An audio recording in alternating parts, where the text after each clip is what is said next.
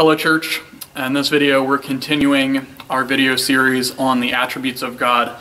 In this video we're looking specifically at the attribute of God's holiness, which is uh, sort of a hard one to describe. It's sort of a hard one for us to wrap our minds around, and yet we see it all throughout the Bible as we're reading about who God is and how He is uh, working in the world and in our lives couple definitions that we can start to try to put this together and get our minds around what it means that God is holy. You can see here a couple de definitions. It's his perfection.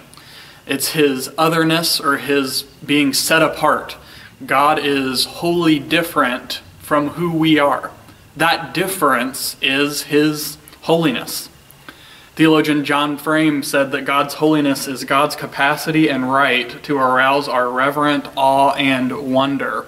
Or we might say, I'm going to say a couple times in the rest of this video, that God's holiness is the godness of God. It's what makes him God, his perfection, his moral perfection, his uniqueness. There is no one like our God, and that's what it means for God to be holy. One of the things that, that theologians have said for centuries is that all of God's moral attributes are sort of under that umbrella of His holiness. So, what it means for God to be perfectly loving and perfectly just, what it means for God to be merciful or have wrath against sin and wickedness, that comes from His holiness we know as we read the Bible that God is perfectly loving in a way that we are not. That's because he is holy. He's perfectly just in a way we are not. That comes from his holiness.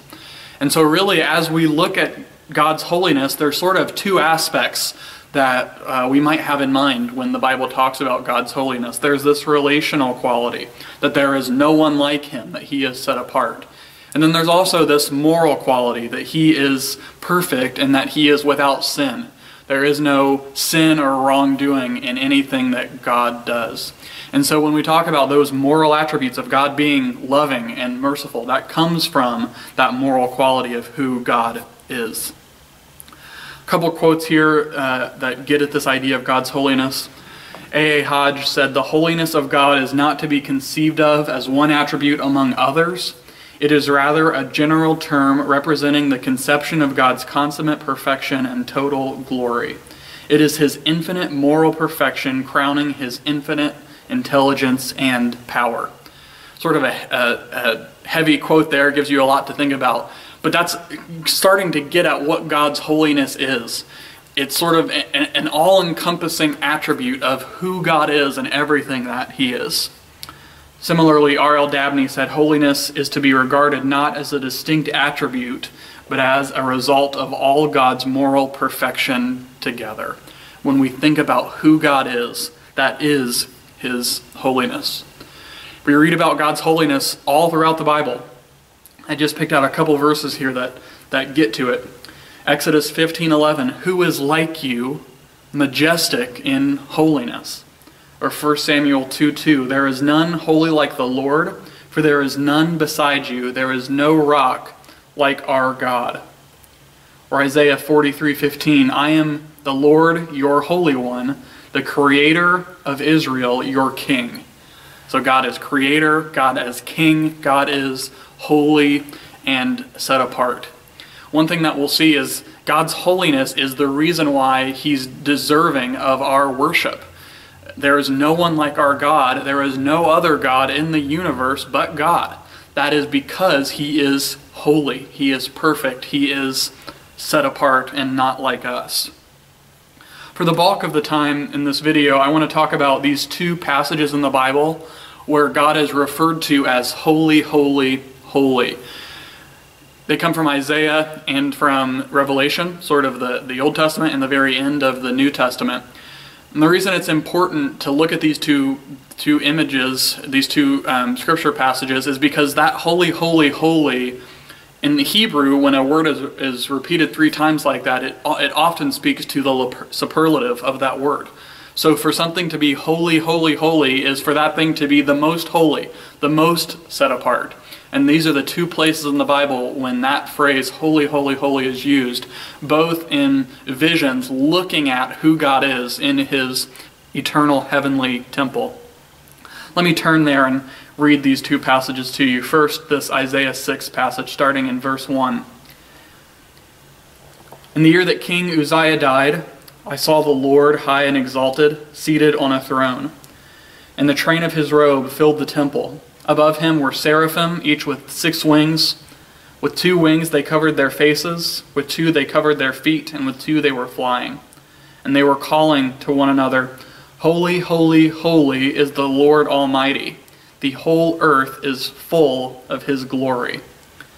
At the sound of their voices, the doorposts and thresholds shook, and the temple was filled with smoke.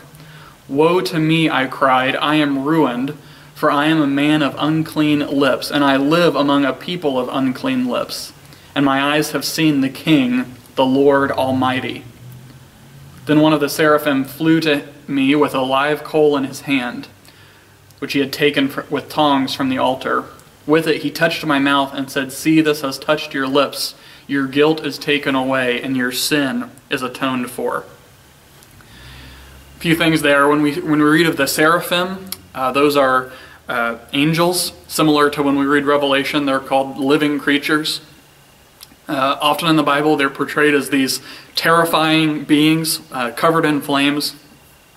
And yet, those terrifying heavenly beings are covering their face um, to avoid looking at God's glory straight on. They have a supernatural power, yet they are afraid to look clearly upon God. Again, we see that, that phrase, holy, holy, holy, there. The, the seraphim are looking to God as this most holy being.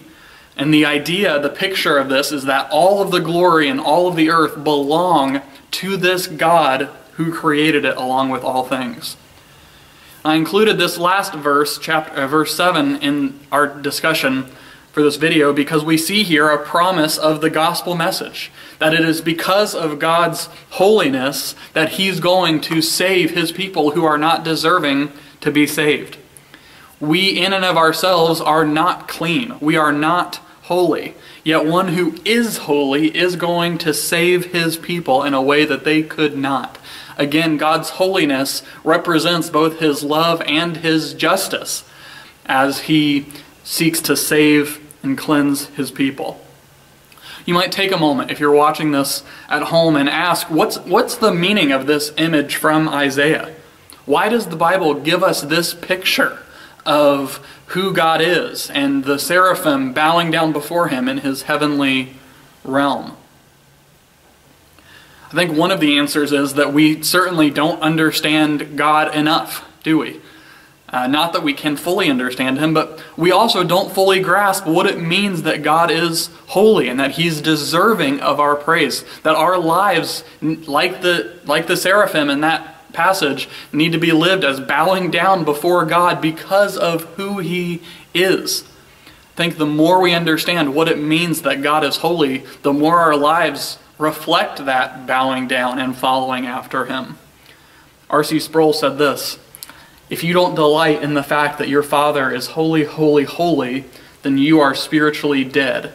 You may be in a church, you may go to a Christian school, but if there is no delight in your soul for the holiness of God, you don't know God. You don't love God. You're out of touch with God. You're asleep to his character. Strong words from uh, R.C. Sproul there, but that gets to the point that God's holiness, He's so unique that we often feel like we can't know Him and we don't understand Him. Yet He has revealed Himself to us in His world and in His Word. And the picture that the seraphim give us there is that because He is holy, He deserves for us to, to cover our eyes and bow down before Him um, in worship, in reverence, and in awe. Let's go and read that other passage in the Bible where holy, holy, holy appears. This is Revelation 4. After this I looked, and behold, a door standing open in heaven. And the first voice, which I had heard speaking to me like a trumpet, said, Come up here, and I will show you what must take place after this. At once I was in the Spirit, and behold, a throne stood in heaven, with one seated on the throne. And he who sat there had the appearance of jasper and carnelian, and around the throne was a rainbow that had the appearance of an emerald. Around the throne there were twenty four thrones, and seated on the thrones were twenty four elders, clothed in white garments, with golden crowns on their heads. From the throne came flashes of lightning, and rumblings, and pearls of thunder. And before the throne were burning seven torches of fire, which are the seven spirits of God. And before the throne there was, as it were, a sea of glass like crystal. And around the throne, on each side of the throne, are four living creatures, full of eyes in front and behind. The first living creature like a lion, the second living creature like an ox, the third living creature with the face of a man, and the fourth living creature like an eagle in flight. And the four living creatures, each of them with six wings, are full of eyes all around and within. And day and night they never cease to say, Holy, holy, holy is the Lord God Almighty, who was and is and is to come. And whenever the living creatures give glory and honor and thanks to him who is seated on the throne, who lives forever and ever, the 24 elders fall down before him who is seated on the throne and worship him who lives forever and ever.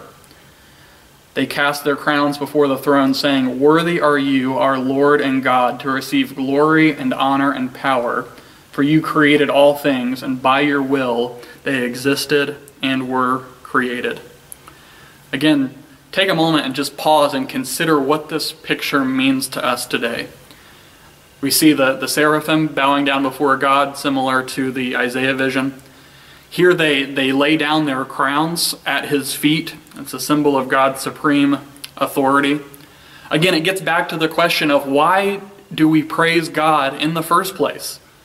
It's because of everything that we've been talking about in this attribute series. Because he's all powerful, because he's all knowing, because he's the holy creator and the king of the entire universe. He alone is deserving of our praise because he alone is God. Again, holiness gets at the very godness of God.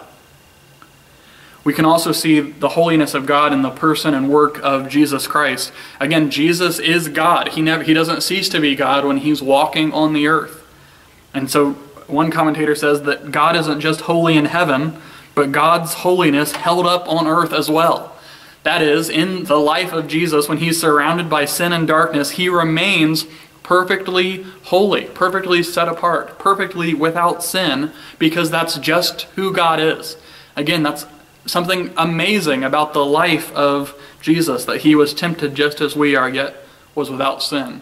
Likewise, Jesus, because he is holy, is deserving of praise. He's without sin. He has power and authority that doesn't come from, from just the fact that he's without sin. It comes from the fact that he is holy, that he is God.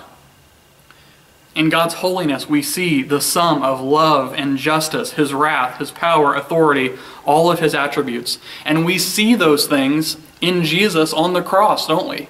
On the cross, we see God's love and justice meet, as we often say. That God is loving, but He also must punish sin. And those things happen on the cross in the body of Jesus, where He is paying for our sins, yet also saving us to an eternity with God, abundant life, both now and forever, because He loves us. On the cross, sin is punished, yet sinners are saved. So God's holiness is central to our understanding of the gospel because it gets to the very nature of who God is. It's a lot for us to think about. That's a lot for us to wrap our minds around. But again, that's just the picture of God's holiness that the Bible gives us from beginning to end. Let me end this video with three so whats. Why does holiness matter to us? The first is what we've said that holiness is the very godness of God. The fact that God is God and we are not, that God is God and there is no other God like him, that's because, because he is holy.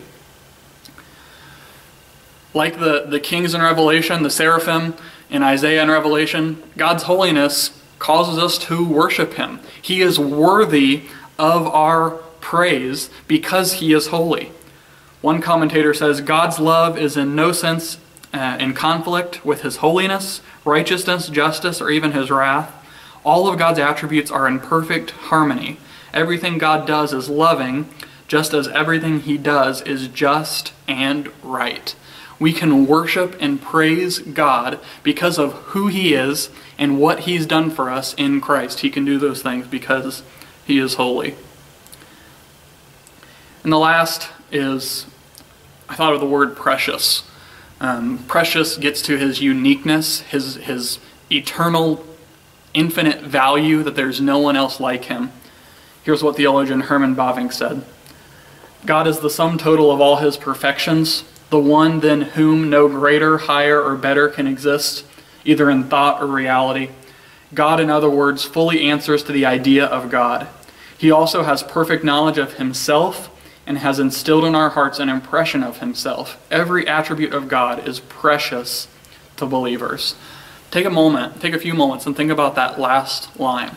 As we've gone through this series, our purpose hasn't just been for, for head knowledge, that we can learn more about who God is, though that's part of it. But also, all of these attributes that we have been talking about ought to be precious to us as believers because this it, it's us getting to know our Creator and our Savior. That He's revealed Himself to us and acted in our lives. It's really a beautiful thing. It should be precious in our lives. And again, it's reason that we praise God and worship God and follow Him with our lives. I'd encourage you, this is just skimming the surface of God's holiness. Um, as you read your Bible, as you as you study, be on the lookout for ways in which we see God's holiness um, in his attributes, in his actions, in the, in the life of Jesus. What does it mean that God is perfect, that he's set apart, that he is God? That's what it means that God is holy, and that's the reason that we can praise him today.